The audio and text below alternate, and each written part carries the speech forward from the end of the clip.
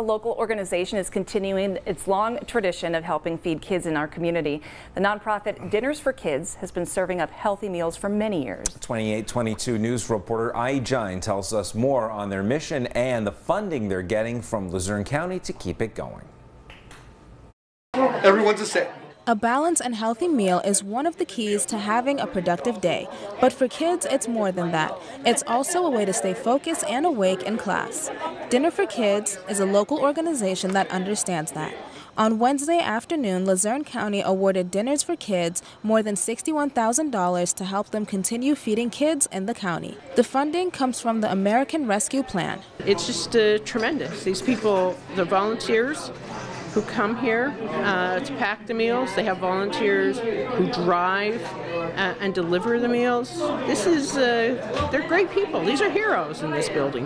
Volunteers get together at Ollie's restaurant at Edwardsville to pack two dinners for kids in need three days a week. Along with two meals, they also include fruit. On average, 1,500 meals are packed a week. There's no one universal solution for hunger. I think there are many, many, everybody attacks different niche, and I think our niche is the kids who don't get decent dinner at home.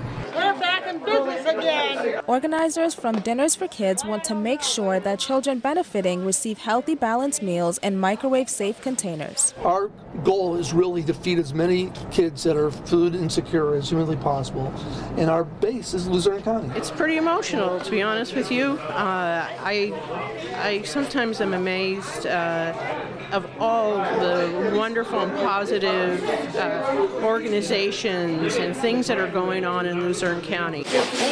In Edwardsville, Ai Jine, 2822 News. And for more information on how you can get uh, help or donate, visit pahomepage.com.